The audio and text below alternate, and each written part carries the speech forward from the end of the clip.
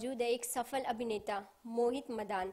हम उनसे बात करेंगे उनकी फ़िल्मों को लेकर और उनके करियर को लेकर कि वो एक मोहित मदान से और अभिनेता मोहित मदान तक की उनकी जर्नी कैसी रही। पहले तो आपका सक्षम न्यूज़ इंडिया में बहुत बहुत स्वागत है। थैंक यू और हम आपसे जानना चाहेंगे कि मोहित मदान से अभिनेता मोहित मदान जो एक सफल अभिनेता बन चुके तो इस बीच की जो जर्नी रही आपकी क्या कितनी क्या क्या आपको फेस करना पड़ा कोई कठिनाई आई कुछ ऐसा?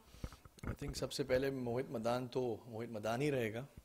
अभिनेता तो ऑडियंस ही हेल्प करेगी आगे जाने में। वो वक्त के साथ साथ हो जाएगा। एंड ऑब्वियसली जर्नी हमेशा किसी के लिए आसान नहीं होती है। बिकॉज़ uh, हर किसी का एक अपना स्ट्रगल होता है। लाइफ uh, में आपको कुछ चाहिए कुछ हासिल करना है उस पर फोकस रहो। And never give up and आगे बढ़ते रहो। आपको ऑब्वियसली सेटबैक्स uh, भी मिलेंगे। लेकिन uh, निराश मत हो आगे बढ़ते रहो पॉजिटिव एटीट्यूड के साथ। जी वक्त लगता है। यू कीप मीटिंग अलग अलग लोगों से मिलते हो जो आपको प्रोमिस uh, देंगे जो आपको सपने दिखाएँगे लेकिन वो शायद नहीं भी होते पूरे।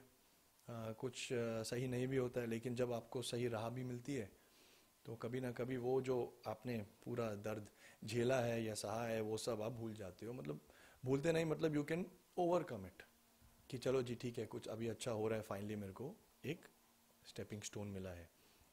तो बहुत टाइम ऐसा भी होता है कि किसी की कड़वी बात जो होती है उस कड़वी बात को लेकर लोग आगे निकलने की एक बना लेते हैं कि हाँ इसने मुझे ऐसा बोला मैं अब इससे आगे जाऊँगा। तो ऐसा आपकी लाइफ में कुछ हुआ है कि किसी की बात ऐसी दिल पे लगी और आपको आगे बढ़ने में उससे ज़्यादा मदद मिली हो? आगे बढ़ना तो मैं हमेशा से चाहता ही था। तो और ये इतना पता था कि अच्छी बातें भी सुनने को मिलेंगी कड़वी बातें शायद उससे ज़्यादा सुनने को मिलेंगी तो उसके लिए तैयार होना बहुत ज़रूरी है। तो बहुत सारी बातें होती हैं जो कड़वी लगी भी हैं एंड यस उसको आप पॉजिटिवली भी ले सकते हो। Make it a determine determine determining force if you say and उसको लेके आगे बढ़ो, लेकिन मैं कहूँगा वो कड़वी बातों से पहले आप अपने अंदर एक बिलीफ जगाओ कि मैं आगे ही जाऊँगा या जा सकता हूँ।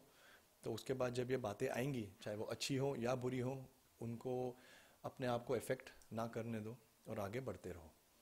तो ये जो बातें होती हैं कि हाँ कुछ कर जाना है तो आपने काफ़ी कुछ किया तो आपकी फ़िल्मों की बात की तो कितनी फ़िल्म आप दे चुके हैं और क्या आप अपकमिंग प्रोजेक्ट क्या है जो आप बताना चाहेंगे? जी मैंने एक फ़िल्म की थी लव एक्सचेंज जो रिलीज़ हुई है एंड सेकेंड अब जो है अक्सर uh, जो अक्सर टू जो शूटिंग चल रही है ऑलमोस्ट फिनिश्ड एंड उसके आगे भी थोड़ी बहुत चीज़ें लाइंड अप हैं विच अभी तो उसकी बात नहीं करेंगे बिकॉज़ अभी अक्सर की बारी है। तो इट धीरे धीरे आगे बढ़ते रहेंगे और फ़िल्में आती रहेंगी और वक्त के साथ साथ ऑडियंस के प्यार के